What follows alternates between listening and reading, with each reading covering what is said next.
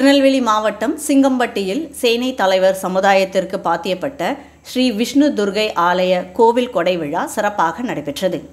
கோவில் கொடை விழாவினை முன்னிட்டு தீர்த்தம் எடுத்து வந்து அம்மனுக்கு சிறப்பு அபிஷேகம் மற்றும் சிறப்பு பூஜைகள் நடைபெற்றது. கோவில் கொடை விழாவில் நாட்டாமை சிவகுமார் என்ற மணி முன்னாள் நாட்டாமை சொல்லமுத்து பூசாரி மாயாண்டி பூசாரி முத்தையா மயூரி டிவி மற்றும் மயிலோசை உரிமையாளர் எம். ஆறுமுகனைனார் சமுதாய பெரியவர்கள் ஊர் பெருமக்கள் பக்த கோடிகள் பலர் கலந்து கொண்டார்கள். கோவில் கொடை விழாவிற்கான ஏற்பாட்டினை கோவில் நிர்வாகம் சார்பில் சிறப்பாக செய்யப்பட்டிருந்தது.